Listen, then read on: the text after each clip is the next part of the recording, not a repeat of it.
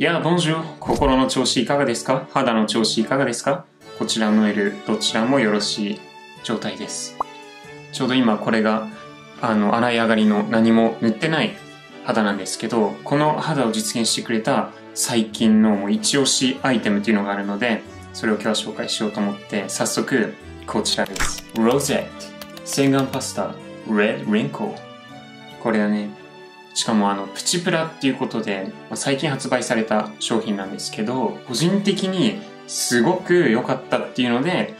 あと今のこのコロナの状況でマスク生活が続いてると思うんですけど、まあ、そのまさにマスク生活になった今こそおすすめのアイテムということで、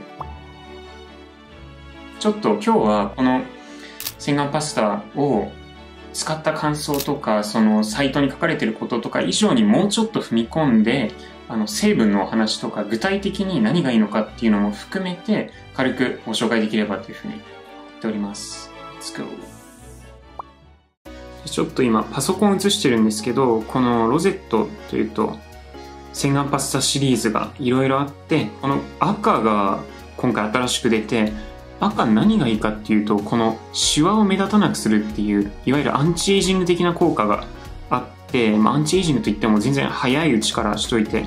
損はないかなっていうふうに思ってて、で、この成分をちょっと見ていきたいんですけど、今回ポイントとなるのが、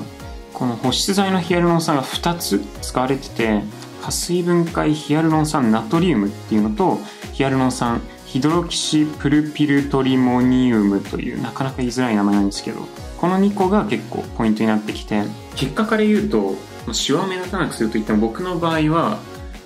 ここの皮膚がすごい薄くて、目の下のシワっていうのかな？なんか線が本当に薄くなってこれ使い始めてから、まあ、若干あるっちゃあるんだけど、まだ使い始めて2週間くらい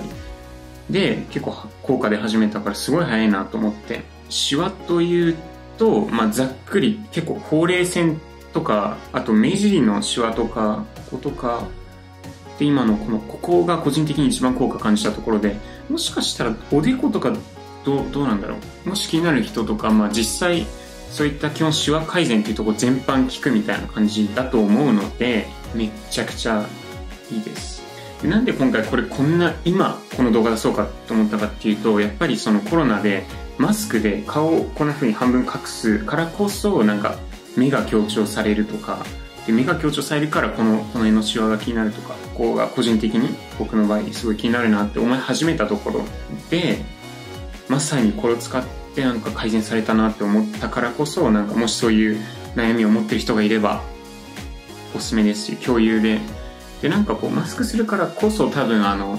呼吸とかも若干しづらくなるような感じしない？なんか、なんとなく表情筋のここ、ほうれい線気になってきたな、みたいな時に、この手感です。せっかくだから出してみる。なんか、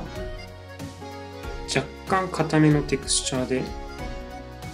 こんな色合いです。今、軽く混ぜただけで、ほら、もうこんな感じ結構しっかりした泡で、なかなか洗いやすいです。もっちーって感じの泡です。あでこの動画撮って思ったんですけどそれ聞かれそうなので事前に答えておくと僕はあのロゼットの社員ではないです。ご安心を。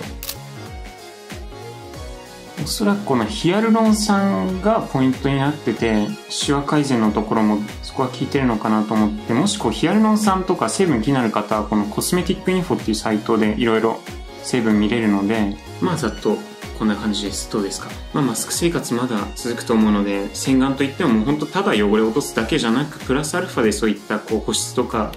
アンチエイジングとか早め早めの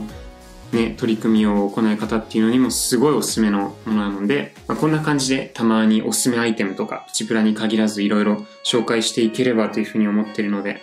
これからもぜひお楽しみに。チャンネル登録もお願いします。ではでは、See you in the next video. A bientôt.